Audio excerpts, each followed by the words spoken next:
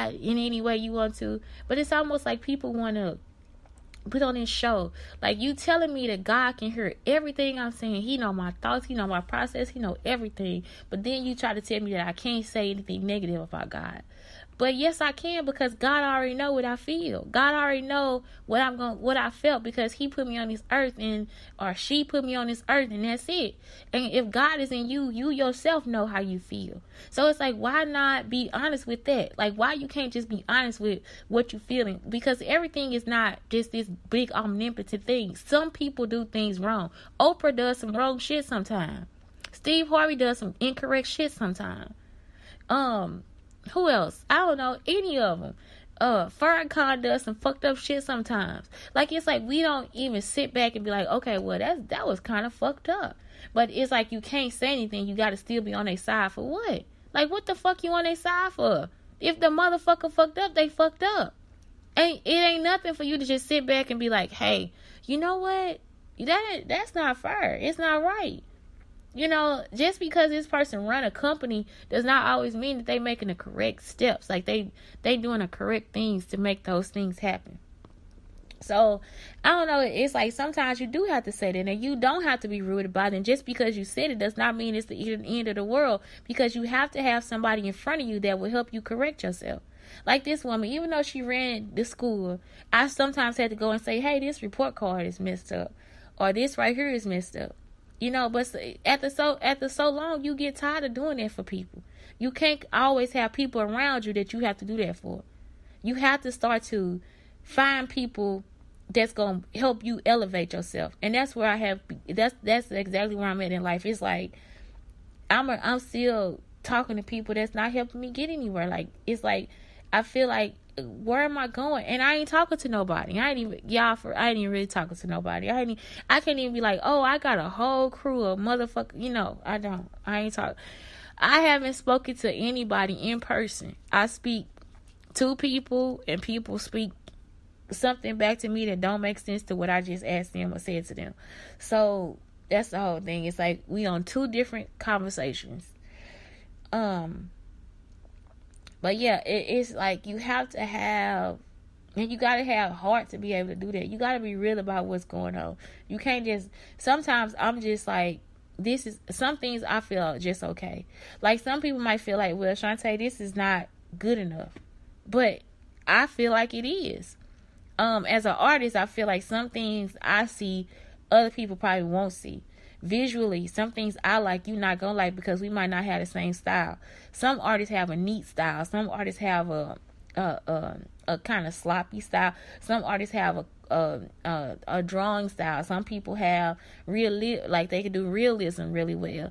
Everybody not gonna be able to do the, do the same thing and that's okay. But it, it's just like you have to you have to realize that you have to realize that you're gonna need some people around you that's gonna tell you that hey i don't like this. I need you to change this. I gotta i need you to move it up. I need you to move it down. And then you're gonna have some people that's gonna be like yes this is it. I love it and other people are gonna love it too. Even though that one part, you might have one person I ain't know, I don't like it because it ain't good enough. But then ask them to do it. Ask them to draw something. Ask them to get out there and do it. Ask them to put themselves out there. It's hard, you know. All this shit ain't easy. Some people make it look easy, but it's hard. Some of it is hard. It's hard. It's hard. It's hard. Even me, like I know that I lack so many. I I can do a lot, but then as far as like business stuff, like selling stuff, I can do it but I can't do it. If I if I consciously do it, I cannot sell. If I if I subconsciously do it, I could probably sell any goddamn thing. What I like, what I believe in, because I'm gonna tell you the truth. What are the pros and cons of it? This is the pros. This is the cons, and this is how what I felt when I when I used it. You know, so I don't know. Anyway, that okay. So anyway, back to the main point of the whole podcast today that's how I came up with the idea for trying to make my school. It's just like, where do I manage from? I thought about where do I manage from? How do I get these things in? How do I get these ideas in? How do I how am I able to oversee that all the ideas are being worked out? How do I not become a bitch while I'm doing it?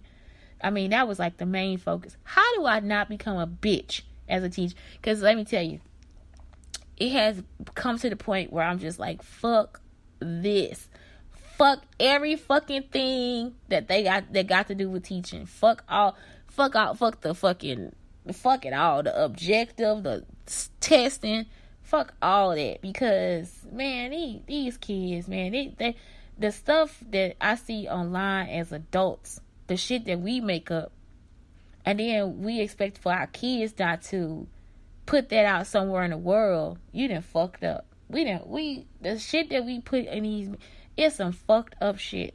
Some of it is true, some of it's honest. And honesty is something else.